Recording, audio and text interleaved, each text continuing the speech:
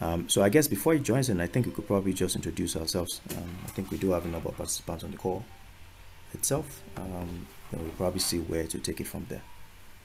Um, I'll probably kick off from my end. Uh, my name is Daniel. Um, I am Nigerian. I currently live in Nairobi, Kenya. I work in finance. I'm looking to move into risk management, which is one of the reasons why I'm very interested in um, learning about R. Um, I think this is going to be a a very big um, setup for us to do that. Nico, I think yes, we're supposed to do this with cameras on. Um, I mean, depending on how comfortable everyone feels. Um, uh, so I'll probably leave it up to that. But that's that's my my introduction. Anybody else can go on.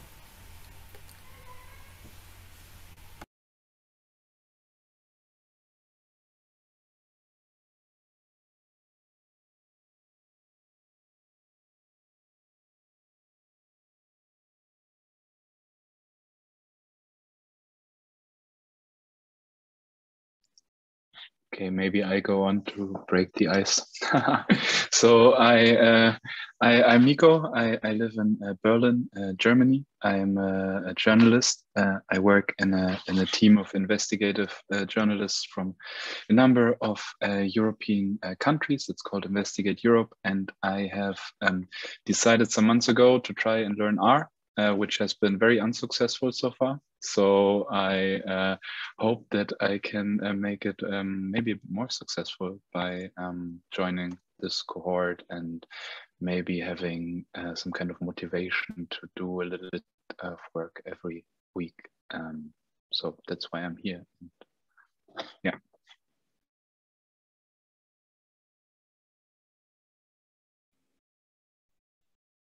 Okay, now I'll try. Uh, so uh, my name is Anna and uh, I'm from Serbia. I live in Belgrade and I work with Nico uh, for, uh, for the last uh, few months. And I'm also an, an, investigative journalist and um, I was working with data, but mostly in Excel and I don't know anything about R except the idea of it. So I'm really interested in learning it. Thanks.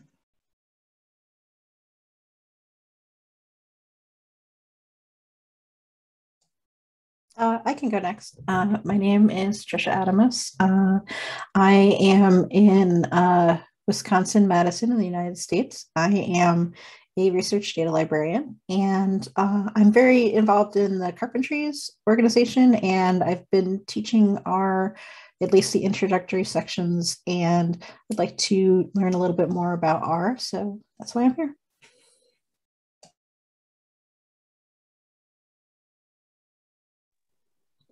Okay, good day, everyone. Oh, sorry, I'll let you. Oh, oh, go. You, are you are you sure? Okay, I'll, I'll be quick. Um, I figured that was got bound to happen at some point. Um, my name's Shannon. I'm in Washington State in the US. I apologize, my camera's so dark. We're having a really dark, rainy Washington Pacific Northwest day here. So um, I am a former fisheries biologist and I used to work with R on like a really high level. And I was always interested in it, but never really got to kind of dig deep with the position that I was in. And I'm currently in a career change and I'm doing some online education. I'm taking some Coursera courses on data science and just trying to get a better understanding of R.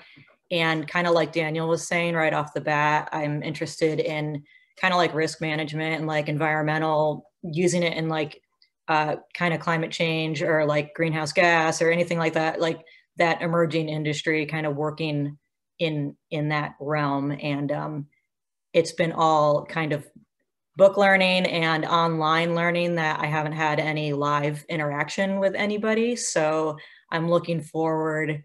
I'm looking forward to this being able to actually kind of get some feedback and be able to have people to kind of bounce questions off of and, and learn R with. So I'm looking forward to it. Okay, good day everyone. Um, I'm Olushola Adeyemi. I'm a Nigerian. Um, I'm a lecturer in the University of Ibadan but currently a postdoc in South Africa. Um, a fluvial geomorphologist by profession, and I also use um, remote sensing. Um, I use R Yes, I use R, but um, this is um, something I'm really looking forward to, a systematic study that would really, you know, open up um, a lot of ideas and also give me some background knowledge. I'm really happy to be here and I look forward to the next couple of weeks. Thank you.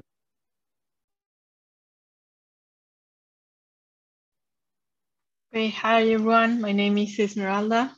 I'm from Mexico, but currently I am living in the UK.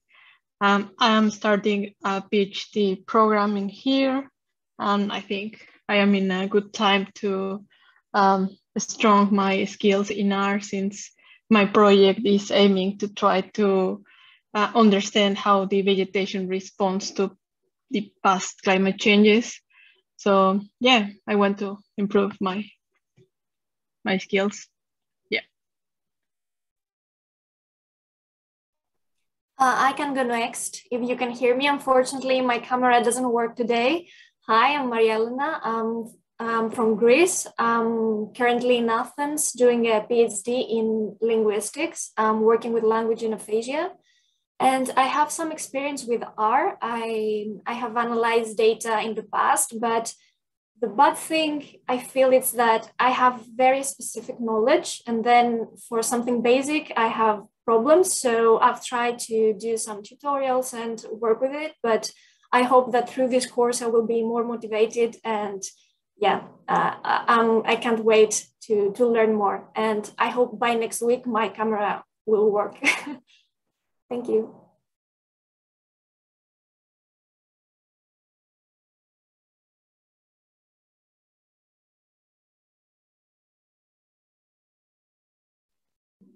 Hello everyone.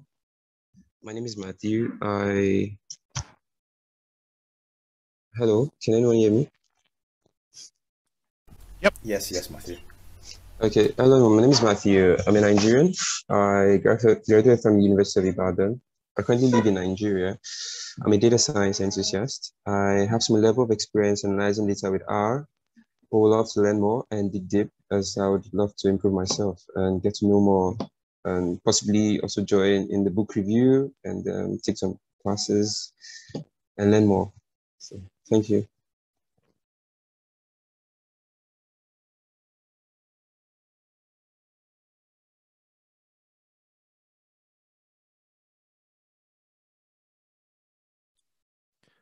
Um, I'll go ahead. I'm Jon Harmon. Um, I run the R4DS Slack, and I won't be here every week. I, I wasn't able to join at the beginning of this, um, but I just wanted to, you know, welcome everyone and be here to kind of help help you sort out how this is going to work. Um, Daniel has agreed to facilitate this group, and so hopefully, hopefully it won't be that hard. So, the idea is you're, you know, it's a book club. It's not a class, so you're all working together to run this. Um, and I don't, I don't know if he went over anything at the beginning, but the general idea is each week someone will take a chapter and um, like lead the discussion of that chapter. Uh, we have notes that we're developing over in cohort five that are shared in the chat. Um, and so those will be available. I highly encourage you, if you're comfortable doing so, to like work from those and then edit them. Um, for the most part, you can edit them just right in place. There's an edit button on everything, so you could do it that way. Or if you want to get more um, familiar, you know, as you get more familiar with r 4 or with RStudio, depending on how new you are to R, you can uh, set up to do it on your local machine. Um, we have the Slack available for help if anyone needs help kind of figuring out how to do that. But again, it's do what you're comfortable with. You can present the notes as is. You can use nothing if you know you don't need to use the notes. You could use the book. Um, it's it's just a friendly discussion forum. So whatever makes sense for you. Um, and I don't know if anyone's left to introduce themselves, so I'm going to hand it over to Daniel or someone else.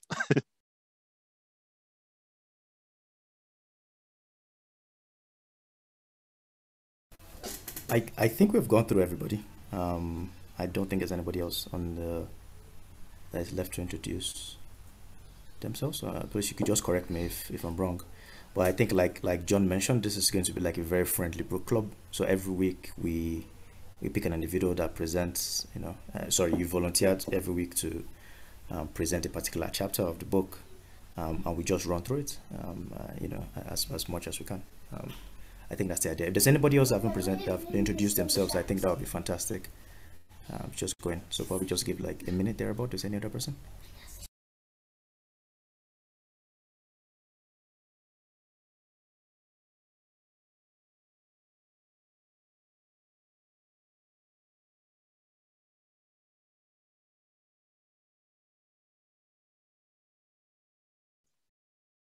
All right, looks like that's everybody. Um,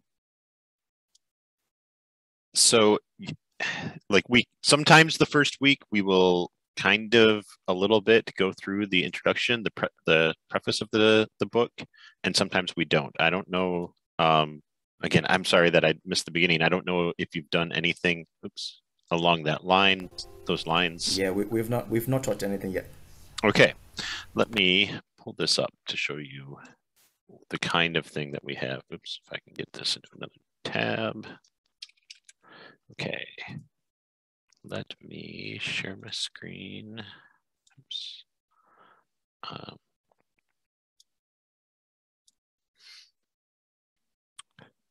all right, so in theory, I should be sharing my screen. Can everyone see that?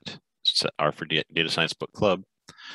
Um, Yes. And so to answer the question in the chat, generally what will happen is like today, uh, someone will volunteer to present next week.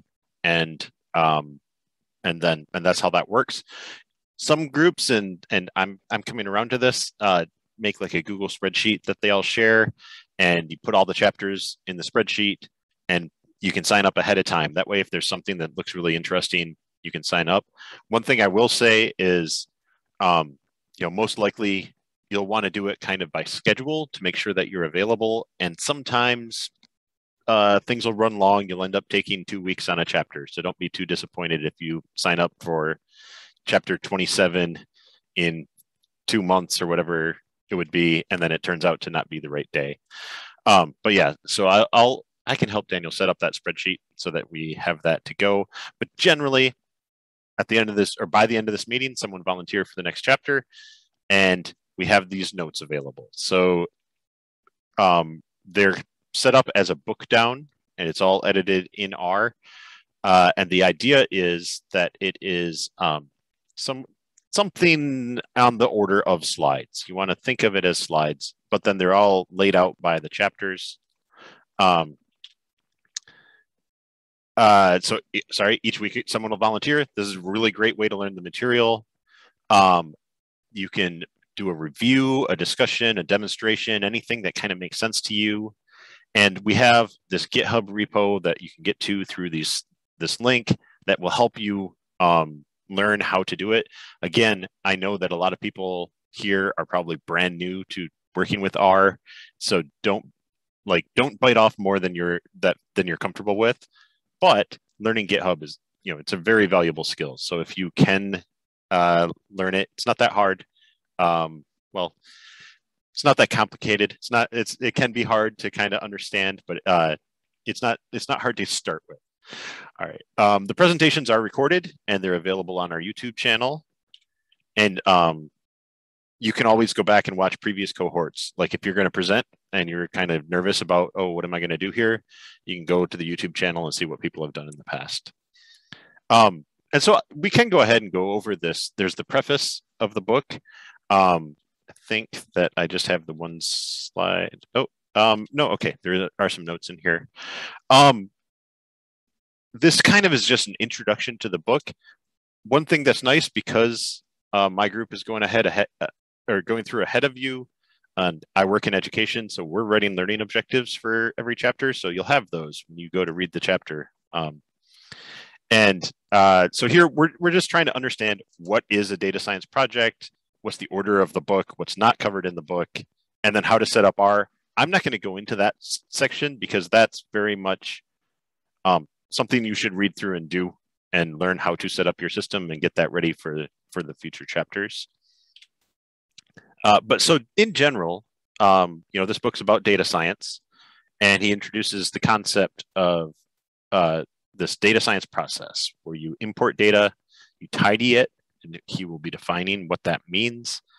You uh, work through a cycle to try to understand your data, and then you communicate it. And you know the reason he lays it out this way is that's what the book covers. Is it goes through all of these sections. It, it tells you how to import the data, how to tidy it, how to work on it to understand it, and how to communicate it. Um, we're going to talk a lot, or the book's going to talk a lot about um, this whole tidy principle. is what Hadley Wickham is known for, um, which really it's just basically make sure each column is a variable, each row is, is one observation. That is the tidy principle. You'll be hearing a lot more about that throughout the book. Um, you'll be doing some transformations to try to like understand um, what you know like maybe it'll be date and you want to group those dates by whether it's a holiday or not so that would be a transformation that you might make um, you'll learn how to visualize with uh, ggplot and um, how to do some simple or some, some modeling to understand what your data is showing and then how to communicate including using things like this bookdown package that we use and a little bit of uh, programming to uh, unlock things that wouldn't be possible for you to do just one step at a time.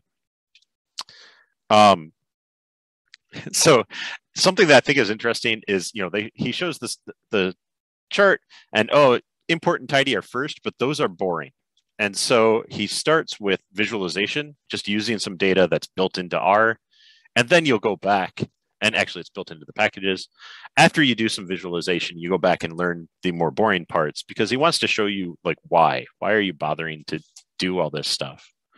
Um, then you so then you do the important tidying. Then we we start looking into programming, how to um, simplify the other steps, get rid of the boring parts, and automate the boring parts. Um, and then I say here that we might get into modeling and communicating because that'll be up to you guys as the book club um, this has like an introduction to modeling and an introduction to Markdown, or the book club might decide, hey, let's go do a modeling book. Let's do a, uh, there is the R Markdown book. Uh, that's all up to the club as you get to those parts. Probably I would recommend do the whole thing and then, you know, you can decide what other books you want to do from there. Um, he calls out what the book doesn't go into um, which would be uh, like big data. He doesn't, there are separate techniques for dealing with really big data sets that are beyond what you probably want to start with. Um, and so th- that's not really covered in this book. He doesn't talk about other programming languages. So obviously, this book focuses on R. Um, a lot of times, people will try to learn kind of everything at once, and I'm a big proponent for master, like get really good at R, and or Python or Julia or whatever, get pretty good at it before you worry about learning another tool because they all can do the same things. Um, I personally, uh, I know a teeny tiny bit of Python. I mostly work in R all the time, day to day. Um, he doesn't talk about non-rectangular data, which will make more sense as you learn more about rectangular data. Uh, he he works with things that can be kind of thought of as like a table, like Excel that kind of thing, because that's what most of the data that you ever will work with um, is like. Um, and he doesn't do uh, hypothesis confirmation. It so he's looking more at exploratory data analysis, not so much like inference. Um, there are other books that will that talk about that kind of thing more. Um, and so, like I said, there are notes in here about how to get started, how to set up your environment, I recommend just doing that on your own because just hearing me say, go install this thing isn't going to be very helpful. Um, so that's that's the baseline. Was what is everyone thinking? Does anyone have any thoughts? And importantly, I guess, does anyone want to do the first real chapter, which is uh, the um, exploration And actually technically oh i guess that's a good note there are these introduction chapters in each of the sections the introduction chapters are one page long so if you sign up for this i, I really really really really recommend that you sign up for chapters two and three if you really want you could do just chapter two next week but chapter two is one page so it would be kind of a waste of everyone's time probably All right. Ooh, sorry. Um, all right. I am going to let Daniel uh, take it over because I have to get back to work meetings. Um, but I, like I say, I recommend set up a spreadsheet. Everyone sign up. Um, I do recommend staying on the on th this particular call until Daniel can goad somebody into volunteering, or he can volunteer himself to do chapters two and three. Um, and uh, with that, I'm sorry, I got to hand it back over to you, Daniel. Fantastic. Thank you very much, Jon. I think this is actually very useful. All right. Um, thanks. Thanks for jumping in last minute. I think no problem. For me. All right. Fantastic. Bye. All right. Um, so I guess, guys, as as Jon mentioned, um, I think we probably just work with a spreadsheet here. Um, I'll try to create one and send to the group. Uh, but it'd be nice if we could actually have just one volunteer for next week, um, chapters two and three. I think that would be fantastic. Does anybody want to go?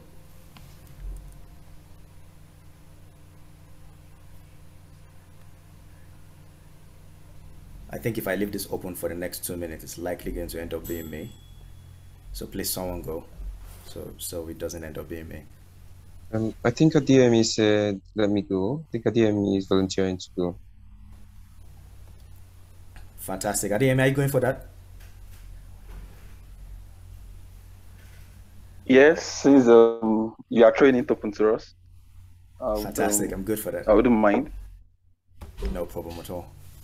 Um, so, so we could just kick off. I, I think it's pretty much the same time. Um, it's currently 7 p.m. my time in East Africa. Um, so, so yes, I think we could probably just kick off on that note.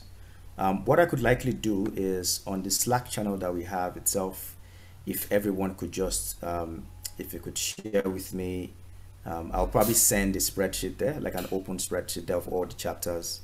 I could probably just put um, what names or what chapters you want to volunteer for, and at DMA I'll probably you know put your name as week uh, week two and week three.